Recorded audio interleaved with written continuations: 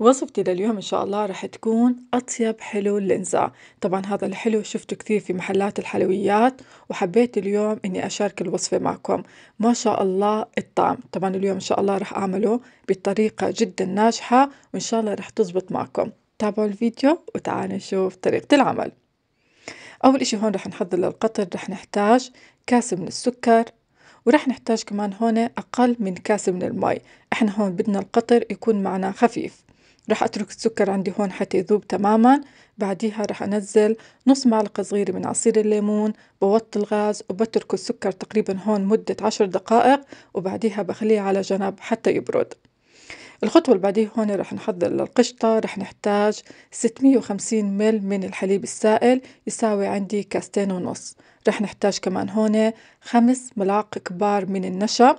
معلقة النشا عنا هون لازم تكون مليانة. ورح نحتاج كمان هون معلقتين كبار من الكريم البودرة أي نوع متوفر عندكم. طبعا هون طبقة القشطة ما رح أحط لها سكر رح أكتفي فقط في القطر والسكر رح يكون كمان معنا بالعجينة. طبعا هون حركت المكونات على البارد بعدين حطيت الطنجرة على الغاز نستمر في التحريك حتى يثقل عنا الخليط. أول ما أشوف عندي هون الخليط بلش يثقل بوطي الغاز وبتركه يغلى تقريبا مدة دقيقتين وبعديها بطفي الغاز وبخليه على جنب. رح نحضر هون المواد الجافة رح نحتاج كاسة وثلاث أرباع الكاس من الطحين ورح نحتاج كمان هون كاستين ونص من جوز الهند. طبعا بالجرام يساوي عندي ميتين وخمسين جرام من جوز الهند وميتين وخمسين جرام من الطحين. بخلطهم. هاي الوصفة ما بدها baking powder يعني ما تحطوا لها baking powder هلا هون رح نحتاج؟ طبعا بخلي المواد الجافة على جنب. رح نحتاج هون ميتين وخمسين جرام من الزبدة تكون عندي بدرجة حرارة المطبخ.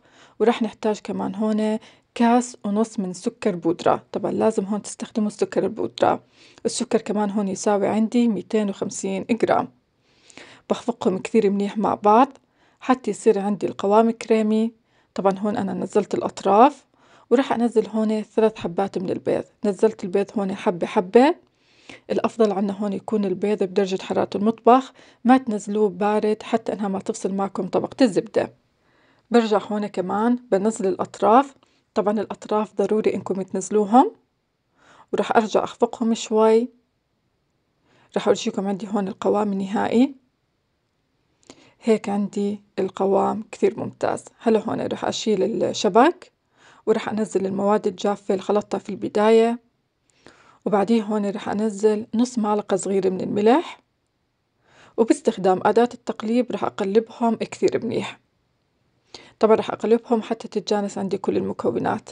بالنسبة لقوام العجينة بيكون عنا قريب كثير لقوام الكيك الإنجليش كيك القوام الكثيف. راح أورجيكم هون القوام. طبعا هون راح أنزل الأطراف هيك عندي القوام كثير ممتاز. راح أشيل هون تقريبا ربع الكمية حطيتها بكيس الحلواني حتى أزين الوجه فيها آخر إشي. هون رح نحتاج معلقة كبيرة من السمنة. بالنسبة للصينية استخدمت صينية بمقاس خمسة وثلاثين سنتي. ممكن تستخدموا حد مقاس اثنين وثلاثين. طبعا هون نزلت كل كمية الخليط وراح أوزعها. لما تيجي توزعوها بالصينية حاولوا إنكم ترفعوا الطرف عشان طبقة القشطة إنها ما تكون على طرف الصينية. هلا هون طبعا نزلت القشطة. القشطة قبل ما أنزلها خفقتها منيح وبعديها نزلتها. رح أحاول هون أوزعها على كل الصينية وأبعدوا كمان هون عن الأطراف. هون باستخدام كيس الحلواني زي ما حكيت لكم رح نزين الوجه. بالنسبة للكيس ما تفتحوه كثير خلوا الفتحة تكون معكم صغيرة حتى يكون الخيط اللي عم بينزل معكم رفيع. يعني الخيط حاولوا إنه ما يكون معكم خميل. طبعا بتكون أرتب وقت التقديم. عملت أنا هون خطوط في الطول بعديها عملتها بهاي الطريقة الكمية اللي ظلت معي حطيتها على الأطراف. وبهيك عندي الصينية صارت جاهزة. هلا هون رح أدخلها الفرن بالنسبة للفرن رح يكون عنا الفرن حامي على درجة حرارة 190 في حال كان فرنكم حامي بتخلوه على درجة حرارة 180 كيف بتعرفوا إنها استوت معكم؟ لازم الأطراف تاخذ معكم لون ذهبي شوي غامق. طبعا هون أول ما أخذت معي اللون الذهبي شغلت الشواي شوي من فوق وبعديها طلعتها. طبعا هون أول ما طلعتها شربت القطر البارد.